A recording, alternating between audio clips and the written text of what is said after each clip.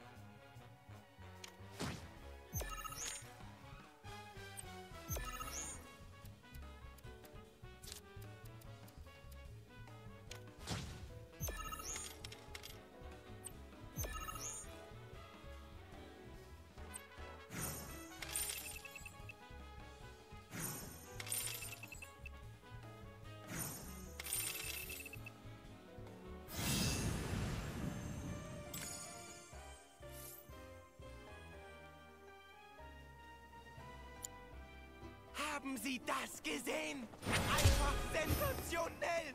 Diese Technik war nicht zu toppen. Keine Chance. Wir haben endlich den stärksten Spieler weit und breit gefunden.